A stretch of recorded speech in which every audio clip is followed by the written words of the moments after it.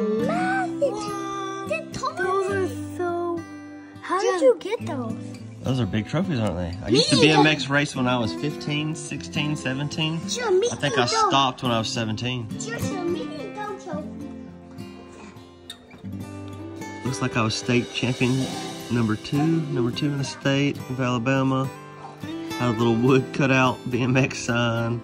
The Claiborne was brand new, never looking better. All the new parts on it. There I am with my chunky self. 2009, 2008. I think I stopped in 2009. Y'all check this out. This is Fountain City. This is Fountain City in Prattville back in 2009. Good job, Daddy. Yeah. You go. That's Daddy. There I am. Look at That was Daddy. 908 was my number plate. Look at Daddy. What? So this Daddy, this Daddy. So this Daddy, this Daddy. There's the track. I think that's Prattville track. It looks a lot different than it used to. Here's another picture. Yeah, 2009. I think that's Fountain City in Prattville. And then, I don't know where this one is. I think we traveled out of town to go to this one. I don't know where this is.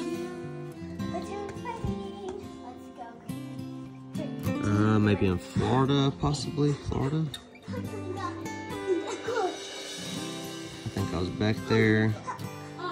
Fourth out of five, it looks like.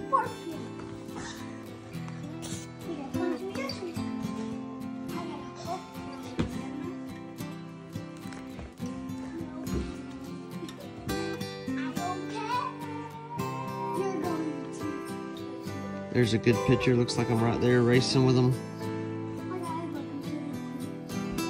Back then, I was I used to I started out as a rookie, and then I had just moved to a novice. I think I was a 16 and 17 year old novice. Looks like I'm right there in the pack with them. Somebody's out there, way ahead of us. But yeah, I thought that was pretty interesting. I'll try to find some more pictures. I know I have more somewhere. BMX racing's been around a long time now. Golly, I can't believe that was me 15 years ago. Fountain City BMX. It hadn't changed much.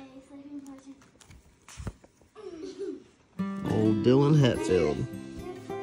that looks so funny. The Claiborne looks good though.